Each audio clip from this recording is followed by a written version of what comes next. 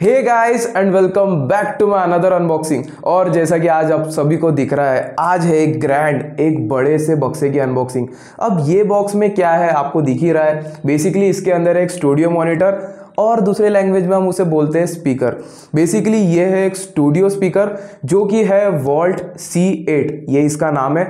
और जो लोग यामाहा के स्पीकर नहीं ले सकते, वो ये स्पीकर क्यों लेना चाहिए और ये स्पीकर लेने के क्या क्या फ़ायदे हैं और क्या क्या इसके मीन्स अमेजिंग अमेजिंग फीचर है, सारे आज इस वीडियो में मैं कवर करने वाला हूँ। सो गाइज़ ज़्यादा देरी ना करते हुए जल्दी से फटाक से इस बड़े स्पीकर की अनबॉक्सिंग हम शुरू करते हैं।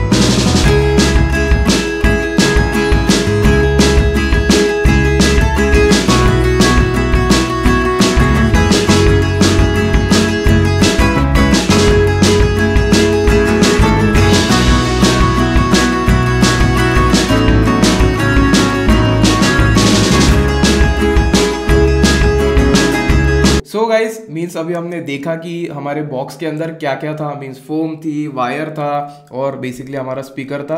लेकिन अभी मैं सबसे पहले आपको स्पीकर के बारे में सब कुछ इन डिटेल में बताने वाला हूँ। लेकिन मैं आपको रिकमेंड करूँगा कि आप लोग भी यार मैनुअल एक बार पढ़ लेना, क्योंकि मैं भी मैनुअल से ही आपको बताने वाला हूँ, क्योंकि मैं भी कोई अंतर्यामी नहीं हूँ कि मेरे को इसके बारे में पूरी डिटेल बताऊँगी।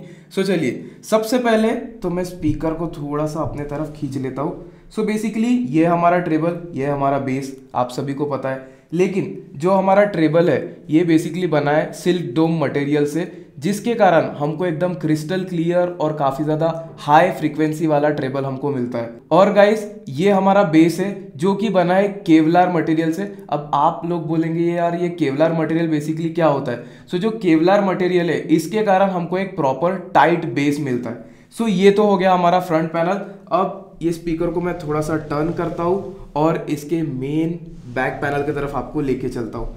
सो so, ये है हमारे स्पीकर का बैक पैनल आई होप आप सभी को विजिबल होगा। सो so, सबसे पहले चलते हैं हम लोग इसके इनपुट की तरफ़। सो so, बेसिकली जो स्पीकर है हमारा वोल्ट्स का सी एट इसमें हमको मल्टीपल इनपुट पैनल्स मिलते हैं। बेसिकली एक हमको मिलता है हमारा एक्सएलआर केबल के लिए और दूसरा हमको मिलता है टीआरएस अब आप में से बहुत लोगों को अगर नहीं पता होगा एक्सएलआर और टीआरएस क्या रहता है तो बेसिकली जो एक्सएलआर केबल रहता है, वो basically three dot three pins जिसमें रहते हैं मेल पिंस रहते हैं, उसके लिए हमारा एक्सएलआर रहता है और जो हमारा टीआरएस रहता है, वो बेसिकली हमारा जैक टू जैक रहता है जैसा, उसके लिए बेसिकली हमारा टीआरएस रहता है।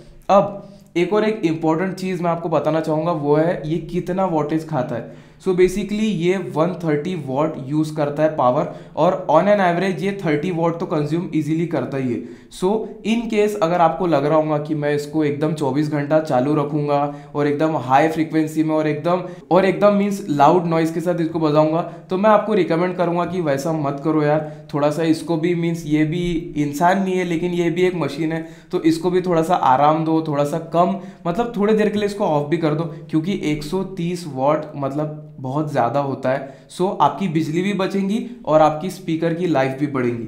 सो so, अभी चलते हैं। ये बेसिकली इसका वॉल्यूम नॉब है। जैसा कि आपको दिख रहा है ये तो कॉमन सी बात है।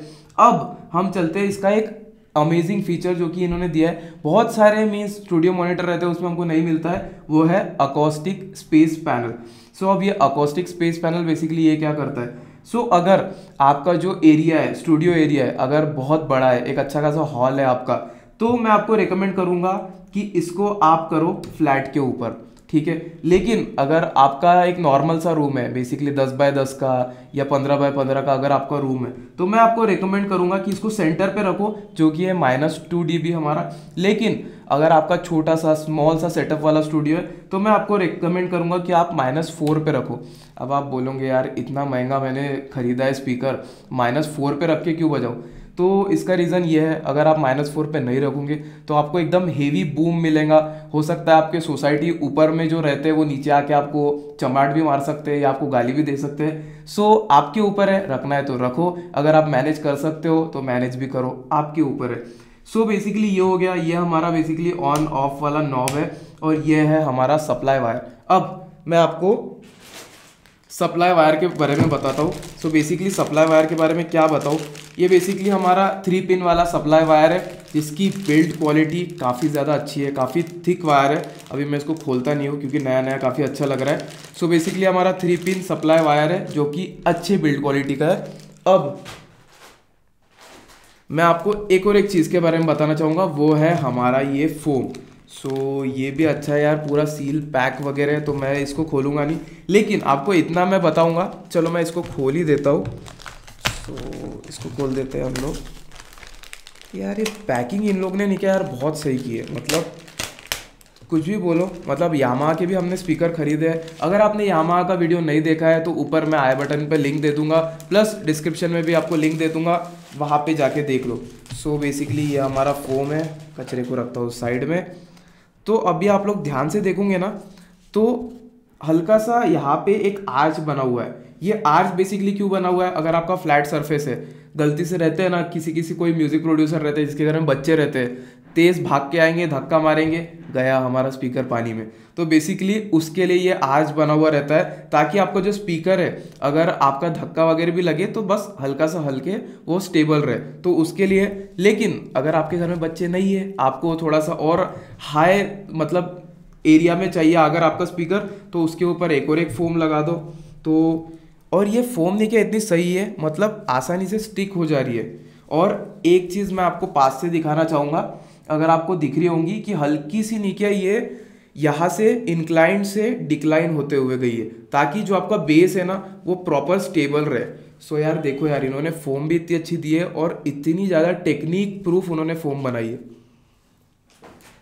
तो हमारे फोम के बारे में हो गया, अब हम चलते हैं इसके थोड़े से इलेक्ट्रिकल वाले पैलेट की तरफ़, जो कि है, और इलेक्ट्रिक मेरे को नहीं क्या एक्सप्लेन करने में बहुत मज़ा भी आता है, क्योंकि मैं खुद एक इलेक्ट्रिकल इंजीनियर हूँ। तो नीचे हमारा नीचे एक छोटा सा उसने फ्यूज़ दिया है। सो so बेसिकली आप में से सब लोग को पता होगा फ्यूज़ क्यों रहता है और क्या काम करता है। बेसिकली फ्यूज़ जितना भी हमारा लीकेज करंट रहता है या कभी अचानक से अगर कहीं का ट्रांसफॉर्मर फूटा या बिजली गिरी तो बेसिकली हमारा स्पीकर डैमेज नहीं होगा, ये जो फ्यूज़ है ये फ्यूज उड़ जाएगा, जो कि आप इजीली चेंज भी कर सकते हो।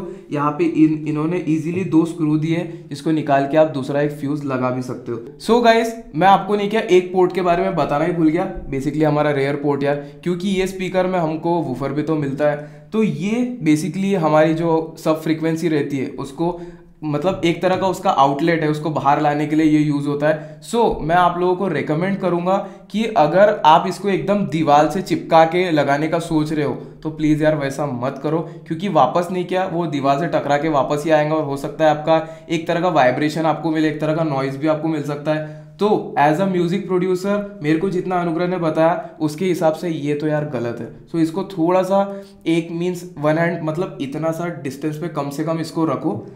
तो आई गेस सो मैंने सारी चीज़ें आपको इसके बारे में बता दी है। और अभी मैं आपको नहीं क्या, इसके बिल्ड क्वालिटी के बारे में बताना चाहूँगा। जो कि एकदम हार्ड वाला, आपको आवाज़ भी आ रहा होगा, एकदम हार्ड वाला वुड है। अगर मैं अपने टेबल का वुड बजाऊँ तो समझ में आ रहा है चीप वुड है, लेकिन ये एकदम हार्ड एकदम बेसी साउंड आ रहा है तो आप इससे इमेजिन कर सकते हो। और इन डिटेल में भी अगर मैं आपको बताना चाहूँ तो 1.25 इंच का वुड से ये पूरा मीन्स इसका पूरा मतलब आउटर बैकग्राउंड पूरा इसका बना हुआ है।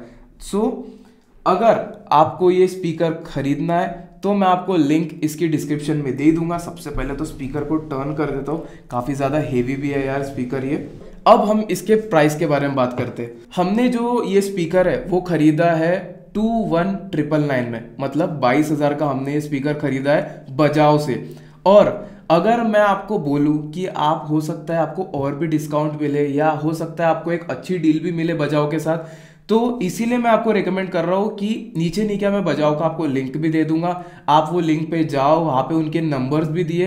अगर आप उनके नंबर से डायरेक्ट उनको कांटेक्ट करते हो, अगर आप उनको बोलते हो कि हमको वर्ल्ड का सी या फिर वर्ल्ड के कोई भी और सीरीज़ का अगर आपको स्पीकर चाहिए तो हो सकता है वो आपको हल्का सा कंसेशन भी दे, क्योंकि हमको भी मिला है। इसलिए मैं आपको बता रहा हूँ ताकि आप लोग का भी फ़ायदा हो जाए यार, जैसे हमारा हुआ है। तो बस यार काफ़ी ज़्यादा मुँह सूख गया मेरा बोलते बोलते लेकिन ये वर्थ इट प्रोडक्ट भी था। अब एक चीज़ मैं आपको और बताना चाह रहा हूँ कि ये स्पीकर हमने क्यों खरीदा? जबकि हमारे पास यामा के मीन्स एच एस एट है एच एस फाइव है एच एस सेवन है, हमारे पास ये स्पीकर है और हमने एच एस एट की अनबॉक्सिंग भी की है। तो मैं फिर से वो चीज़ बोल रहा हूँ, अगर आपने एच एस एट की अनबॉक्सिंग नहीं देखी है तो मैं लिंक दे दूँगा डिस्क्रिप्शन में भी और आई बटन में भी। जाओ यार, देखो यार यामा की।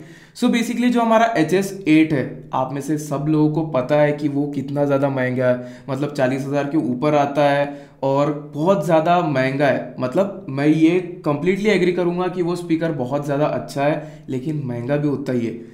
और अगर हम इसके तरफ़ देखें तो ये टोटली उससे हाफ़ से भी कम प्राइस में हमको मिल रहा है। मतलब अराउंड बाईस हज़ार में ये हमको मिल रहा है। और गाइस मैं आपको नहीं क्या, एक इंपॉर्टेंट एडवाइस भी देना चाहूँगा जो कि एक गलती नहीं क्या हमने भी मीन्स हमारे पास्ट में की थी। सो उससे रिलेटेड मैं एक एडवाइस देना चाहूँगा कि अगर आप एक बिगनर म्यूज़िक प्रोड्यूसर हो, अगर आप सोच रहे हो कि मैं एक पाँच इंच का स्पीकर खरीदता हूँ यामा का या पाँच इंच का स्पीकर खरीदता हूँ वर्ल्ड का या कोई भी अदर ब्रांड का खरीदता हूँ, मेरा काम हो जाएगा। क्योंकि स्टार्टिंग में मेरे को क्या करना है? स्टार्टिंग में मेरे को सीखना ही तो है। और मीन्स छोटे क्लाइंट्स के लिए तो मीन्स बनाना है गाने या फिर म्यूज़िक प्रोड्यूस करना है। लेकिन प्लीज़ यार ऐसी गलती मत करो, क्योंकि अगर आप पाँच इंच का खरीदते हो स्पीकर फॉर एग्जांपल यामा का पाँच इंच का स्पीकर खरीदते हो तो आपको उसमें भी वूफर मिल जाएगा ट्रेबल भी मिल जाएगा लेकिन जो उसकी बेस क्वालिटी रहेंगी ना वो उतनी अच्छी नहीं रहेंगी जो आपको एक आठ इंच के स्पीकर से मिलेंगी। सो so, मेरी एक एडवाइस है ये आठ इंच का वोल्ट का स्पीकर है जो कि आपको बाईस हज़ार में मिल रहा है। यामा का लोगे तो अराउंड थर्टी थाउज़ेंड के आसपास वो आता है। सो so, क्यों ऐसा कर रहे हो यार? एक अच्छे बेस वाला एक मीन्स जिसमें इन हमको वूफर की अच्छी क्वालिटी मिलती है वो स्पीकर खरीदो। तो बस मेरी यही आपसे एक एडवाइस थी। तो बस आज की वीडियो में इतना ही था। आई होप आपको मेरा आज का वीडियो अच्छा लगा होगा। अगर अच्छा लगा है तो do it the like button और अगर आप मेरे चैनल पे नए हो तो प्लीज़ यार सब्सक्राइब करो। ऐसे ही और भी ज़्यादा अमेजिंग वीडियो अमेजिंग कंटेंट आपको मेरे इस चैनल पे देखने को मिलेंगे। सो जल्दी मिलते हैं। तब तक के लिए बाय बाय